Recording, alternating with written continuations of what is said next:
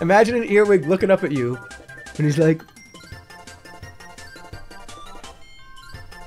and I'm like, oh, get the envelope, save him.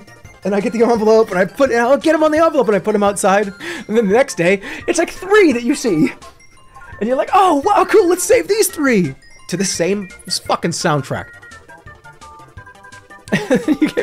oh, save us! Here come another 50 in your house. And they're all dancing in a line. Doing one antenna, two antenna, one antenna, two antenna, top hat, top hat, top hat. It's like, well, 50 earwigs! Oh my god, they're so cute! Get the, get the envelope! They all start crawling on it, you get them out, you save them, save the earwigs. And then it, it, uh, it, it, me lying down in bed three days later, and I'm drifting off to sleep. Ah, what a nice day that was today. And the second that I fall asleep and I go into REM, they can sense it.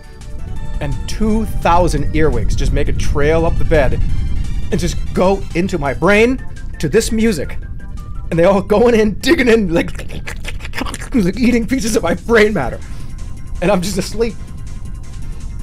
And this, and, and some of them are still dancing with the top hat.